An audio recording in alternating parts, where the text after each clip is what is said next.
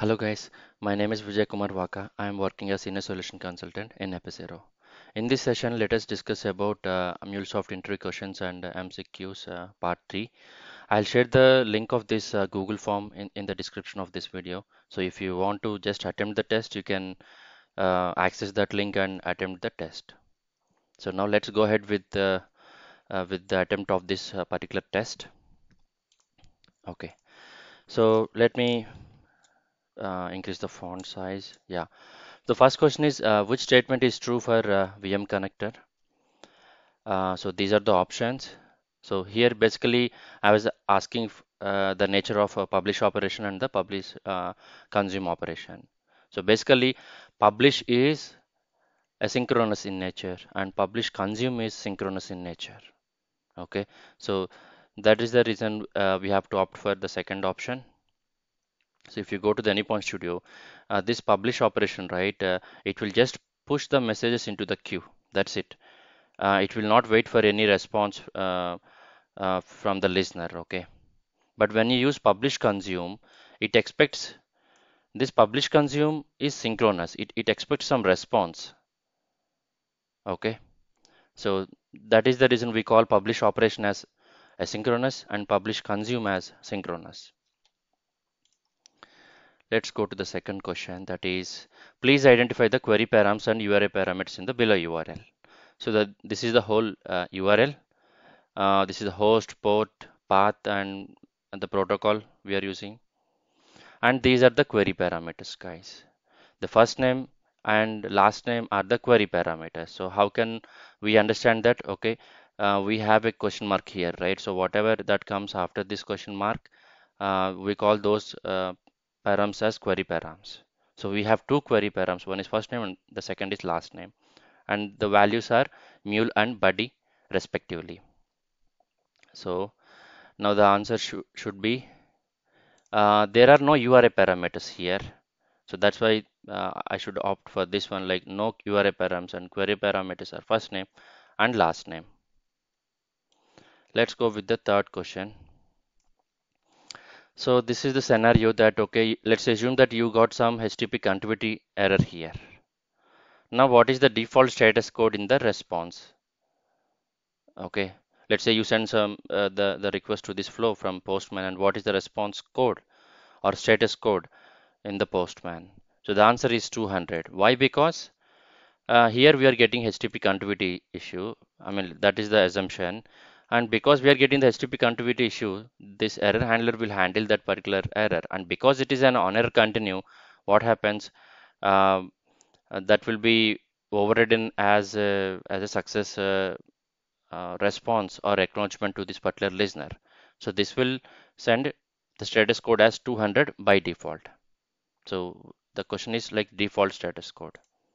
And the answer is 200 for this now, which operation from object store will retrieve all the key value pairs? So we, these are the different operations within the object store connector. Now, uh, these are the options that were given. So what store will do? Store will store a key value pair. Retrieve will only fetch the value for a given key. You have to pass a key and it will retrieve the value for that one.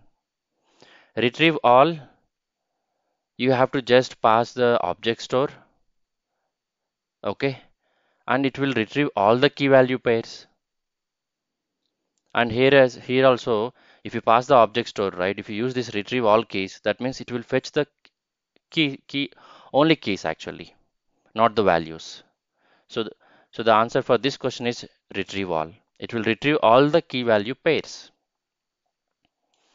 Now let's go with the next question uh, the question is, can we validate the incoming payload in RAML? If yes, with what fragment? So the answer is yes, we can validate the incoming payload to the RAML and uh, that too by using the data type. So we have a data type uh, that we call as one, one, of, one of the fragments and with the help of that we can validate, we define our custom data types and uh, by using them, right, uh, we can validate the payload. Let's go with the next question so what are the default ports of HTTP and HTTPS respectively? Now the answer is 80 and 443. Okay. If you assume that these are the default ports, these are the default ports that that will be used by Cloud Hub, public ports, okay, and these two are the private ports. So if you see here, public ports in Cloud Hub uh, MuleSoft, okay, uh, we could see uh, the ports are like 8081 and 8082 respectively for HTTP and for HTTPS. And private ports in Cloud Hub, uh, okay, so th that is like 1891 and 1892 for HTTP and HTTPS respectively. Now coming to this question, I have asked only um, the, the ports, the default ports for HTTP and HTTPS. So in that case, you have to choose these two. Okay, 80 and 443. Let's go with the next question that is flow reference is synchronous. This is the statement and is it true or false? So the answer is true. If you if you use flow reference, right, um, that means uh, that flow, I mean, it will refer, the control will be uh, shifted to the child flow, right? Let's say if I use a flow reference here. So if I use a flow reference and if I point to some flow, uh, let's say this one, unless until I get some response to uh, back from this flow to this flow reference, uh, it will not go ahead with the further uh, processors processing. So that's why we call flow reference as synchronous. So the answer is true here. Next question is what is the exact difference between put and patch HTTP methods? So, so we have different HTTP methods and the question is all about put and patch methods only and the difference between them. The answer is this one. Uh, patch will partially update the resource and put will update the resource completely. So if, if you see this uh, this option as well, patch will partially update the resource and put will update the resource completely. This is also correct, but not uh, complete. It's not a complete difference. The complete difference is this one. Patch will update partially update the resource and put, put will update the resource completely. If there is no resource right to update, it will create the resource. So this is also something you have to tell as a difference. Okay.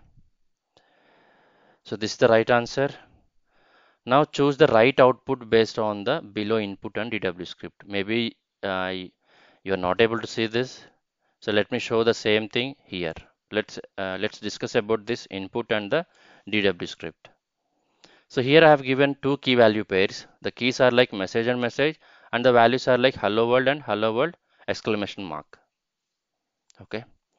Now based upon this code, right, we are distinct, I mean, we are doing we are performing distinct by that means uh, it will filter the duplicate key value pairs. So that is the reason we have key and value as the parameters for distinct by function. Now here what i'm doing i'm performing this distinct by based upon the value.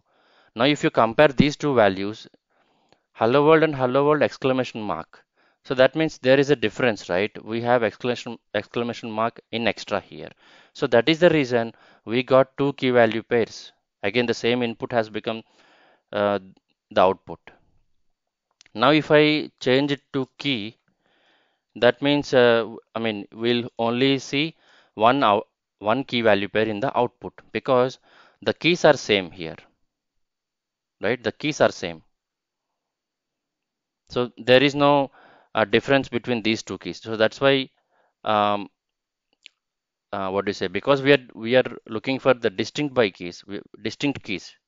So because there is no difference it is only taking the first one and that is what we could see in the output. Now for for the for our question right uh, it will give the same um, input as the output. Okay this input because we are uh, performing this distinct by based upon the value but both the values are different so that's why we'll see the whole input payload as the output. Now the answer for this is uh, option 2 that is this one. Let's go with the last and final question. So what are the connectors that support transactions?